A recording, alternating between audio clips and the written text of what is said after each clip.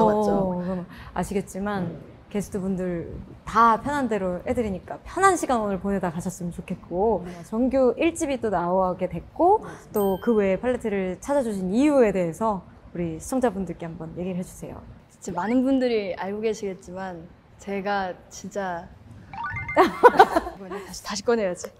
네, 제가 아, 이게 휴지를 많이 챙겨 가셨어요.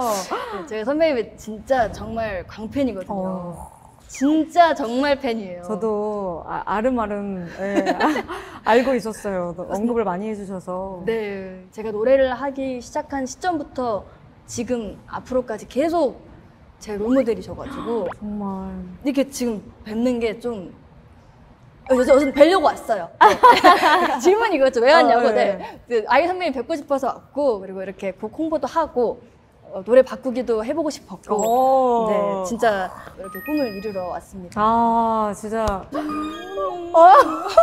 어, 어, 어, 진짜. 어, 진짜 우는 거. 어머. 어머, 어, 세상에. 어머, 바로, 바로, 어머, 괜찮아요? 네네네네. 어머, 어머, 이거 빨리 눈물 좀 해주세요. 시작하자마자 장기 같은 거예요?